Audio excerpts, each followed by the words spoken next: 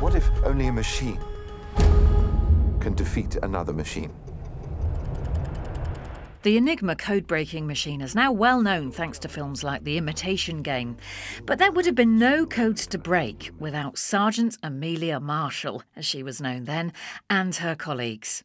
The Air Force took it from the air, air part of the Germans, but I was in the one that took it from the German army. So the hmm. German army's Morse code letters, they were They sending were letters. They, sending codes, weren't they? they were sending letters, and those that those letters, like B O A D or something like that, to them meant something, but it didn't to anybody else. You see. So you were the ones that knew how to do Morse code Yeah. and you were writing After- down what the after letters were. received Morse code, and we received the letters. And you were quick at it too. Mm, oh yes. And when I'd finished, I was one of the fastest, and that was why I was made a sergeant because I could read it quicker than the other people. Amelia was 21 when she began work at Beaumanor Hall near Loughborough. She intercepted German code, which was passed to Bletchley Park to be deciphered. So, Secrets of Bletchley Park. Yeah, there we are. All the memories in here Yes, for you. yeah, and that's here's the very room you think that you worked in. That yeah, I'm sure that was the room we worked in.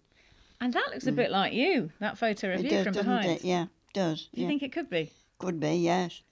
There were generally about six signals going through, and you had to pick your signal because they gave you a, a sort of kind to li- a, a call sign to listen for, see uh, whatever it was, and you had to pick it out of these six other ones, and hang on to it like grim death. And you were known as Mickey, weren't you? Not oh yeah, Amelia. yeah, because they oh I've never heard of that name. What's your surname? I said Marshall. Right, you're Mickey Marshall from now on.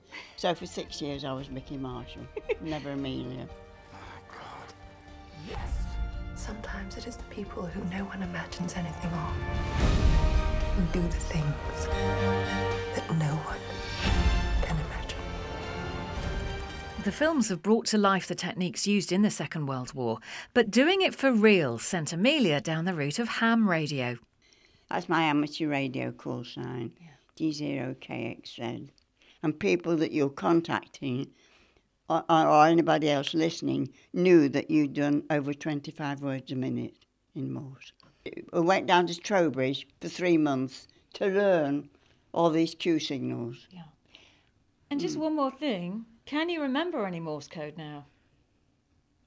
Uh, Well, I don't know. I've not tried. I expect I could. I bet you could. I, Yeah. I bet it would all come flooding back. Yes, yes. My name, Fran, F R A N. What would that be in Morse?